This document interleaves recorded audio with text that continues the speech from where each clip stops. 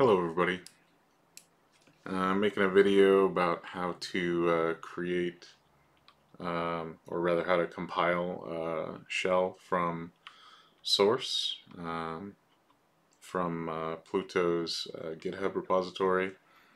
So uh, just you know had a couple requests from people. I think I think Plu70 may have already made a video doing this, but uh, haven't I haven't actually looked to see. But figured I'd go ahead and make one as well. So um, first step is, uh, you know, we're just going to go to the repository. I'll put the URL in the uh, video description. Um, but uh, yeah, we've got the repository for uh, for 5hell. Um, and the instructions are right here in the README. It's pretty simple. Um, but uh, we're just going to kind of follow them real quick. So, and this is the first time I've done it this way. Typically, the way I do this is I will, uh, I have the repository uh, cloned on my local machine, and I'll use uh, Greybel uh, VS in Visual Studio Code to compile it. Um, although you do have to make a couple of adjustments to the code to get it to work with Greybel. Um, so this will be my first time actually doing it the uh, quote-unquote correct way. Um, so yeah, just going through the list here. So it says uh, uh, we need to make a directory slash root slash source. So let's go ahead and do that. Um,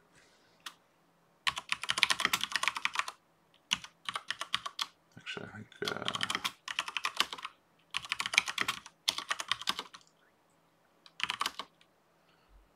okay, so we've got that. So we'll come back over here. Um, and then we're going to, uh, looks like we're going to copy some source code into the game and compile them. Um, I think these need to go inside of that uh, root slash source directory. So let's just go through the list. We've got games, uh, 5pk, so that's this one. Um, I think I can just copy it, and then uh, we'll come over here in the game. Uh, let's do code editor that and then we'll build this. It's very important uh, that you make it uh, importable. Um, and then we're going to name it, um, I think it was, uh, let's see, we'll come over here and save it in source. I think it was games.5pk.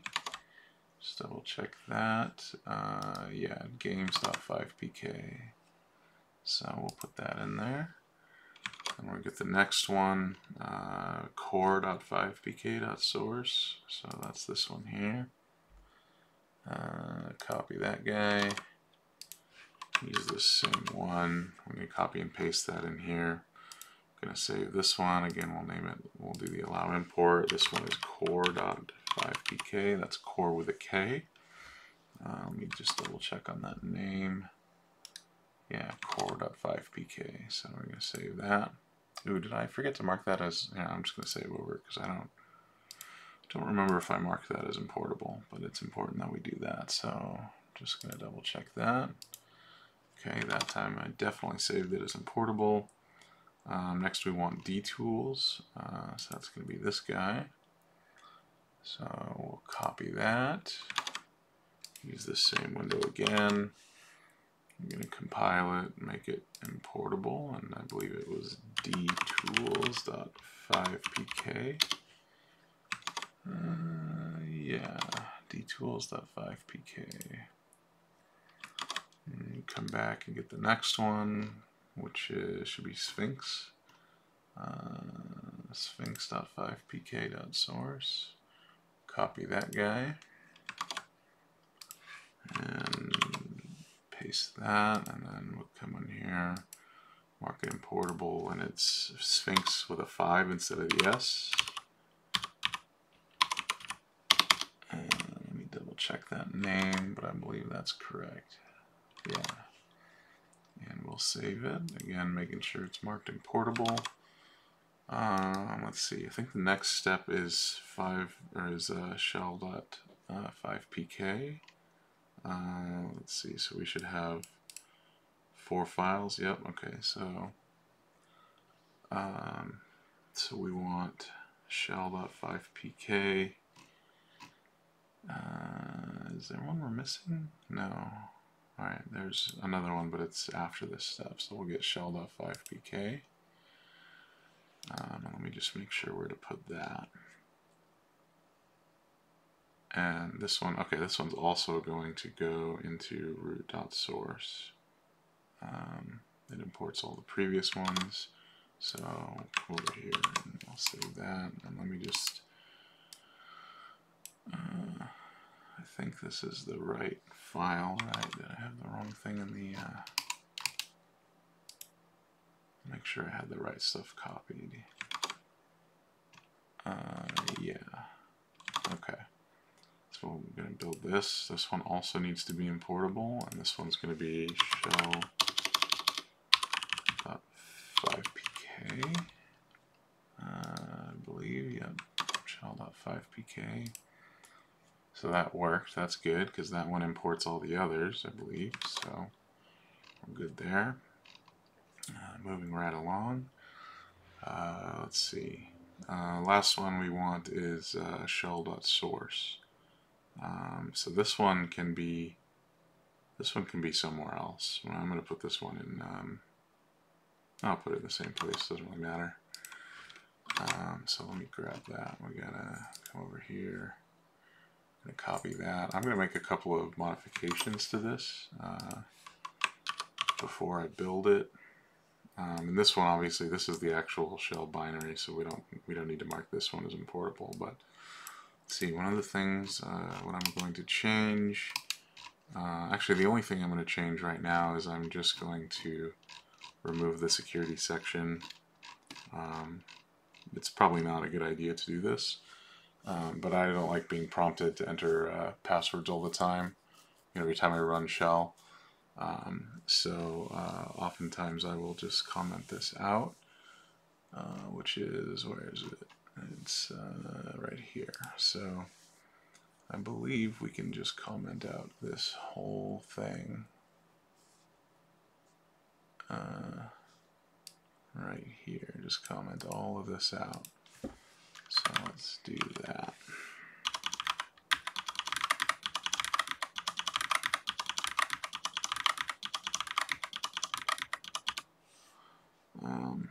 So that just kind of disables the security. So normally, like you would put a password uh, up above or two passwords, and it'll kind of uh, alternate or, or whatever. Pick a random one that you got to enter um, every time you run 5hell. Uh, commenting this out just disables that. Um, and then you can also, there's another area you can customize here. Actually, you can customize all of this, but another area that's useful to customize is if you um, put in information here for uh, like a remote server, um, you can run uh, Hashem on it and it will, 5hell will uh, automatically dump um, credentials to it, any credentials you can upload to uh, a file on this server. Um, and then Hashim can be running on the server and it will uh, automatically decrypt them for you in real time. Um, but I'm not going to do that in this because I'm just doing this video for how to compile 5hell from source. Um, I do have a different video in which I make use of that functionality. Um, and if you wanted to do that yourself, this is the place where you would enter that information. Um, but for now, I think this is all we need, so I'm going to build this. Uh, actually, I'm going to save it because uh, I'm going to save it so that I can make it a little smaller uh, in a minute. So for now, I'm just going to save it as shell.source. Um, actually, this is the one I want for that. Uh, let's save it as shell.source. Uh, I am going to compile it now, but I wanted to just save that first. Um, so, okay, so we don't need to make this importable because this is the actual binary. So I'll just name it shell um, and save it. And then uh, should be able to run it now. Let's see, where are we? Move over to source. If I did everything right, should dump me into 5hell, which it did. So excellent. So um, the reason I wanted to save that source code file is I want to show you uh, something you can do with 5hell. You can do this with any source code, um, but I'm going to use it on the shell source code itself.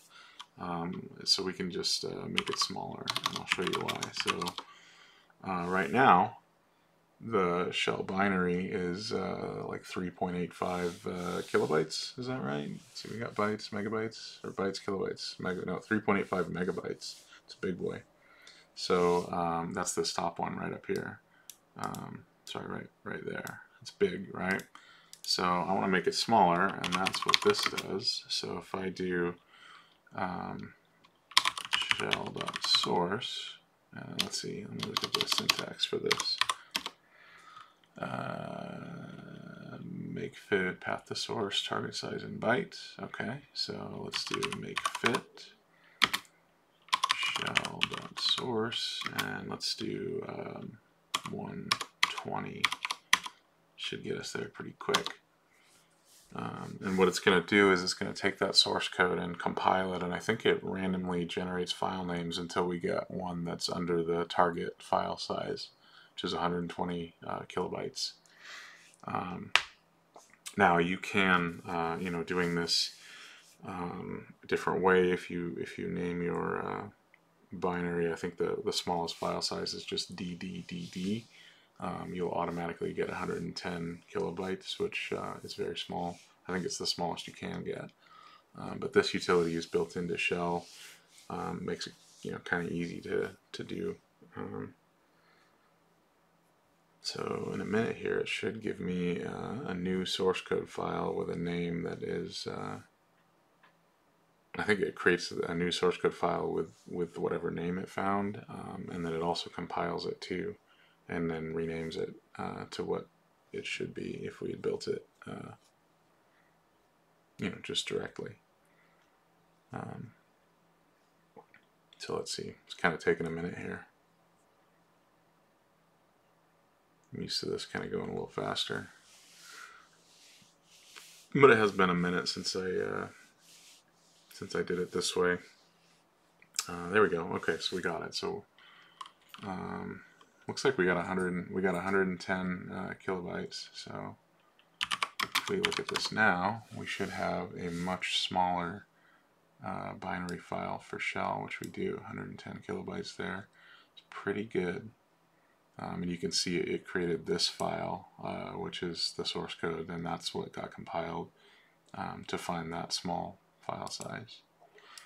Um, so that's that's good. Um, I guess I'll make this video a little longer here. Once, you know, first time you run 5hell, um, you're going to want to run kore-r.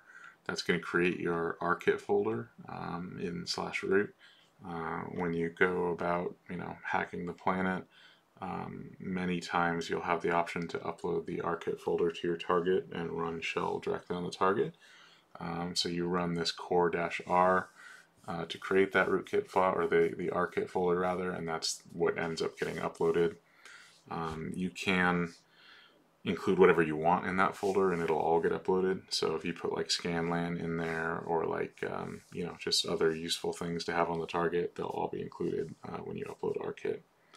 Um, so that's a good thing to start. Um, another thing to run um, is if you do pwgen dash, uh, to think, is it, is it pwgen? Let me look, maybe it's in the, maybe it's in the readme. Think it's, uh, it might just, maybe it's just pwgen.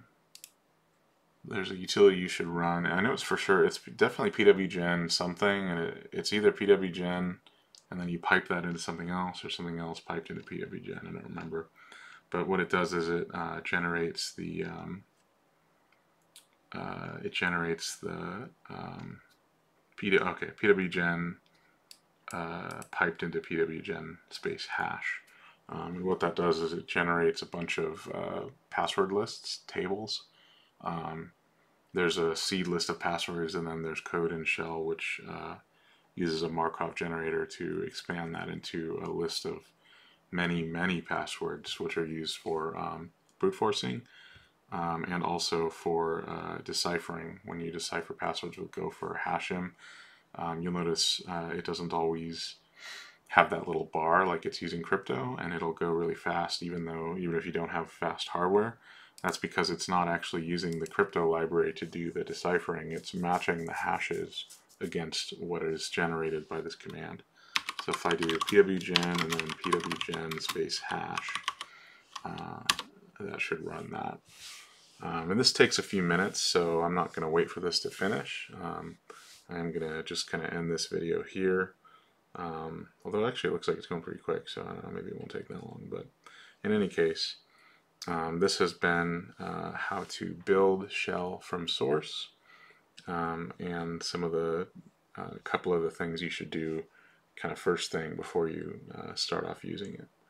Um, thanks. Bye.